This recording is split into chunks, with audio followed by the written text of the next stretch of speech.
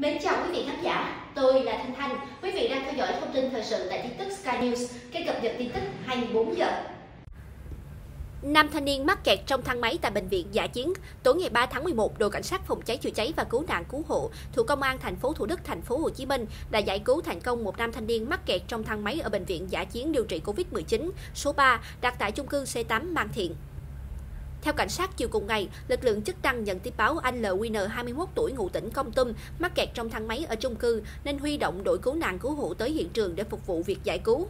Đội cứu nạn cứu hộ sau đó sử dụng các thiết bị chuyên dụng để phá cửa thang máy, đưa anh N ra ngoài an toàn. Quá trình làm nhiệm vụ, lực lượng chức năng đều mặc đồ bảo hộ. Theo cảnh sát, nạn nhân được đưa ra ngoài trong tình trạng tỉnh táo, sức khỏe ổn định. Bệnh viện giả chiến điều trị COVID-19 số 3 được đặt tại chung cư C8 Mang Thiện trên đường D2 thuộc phường Tăng Nhân, Phú A. Bệnh viện này được thành lập từ cuối tháng 8 có quy mô 800 giường bệnh.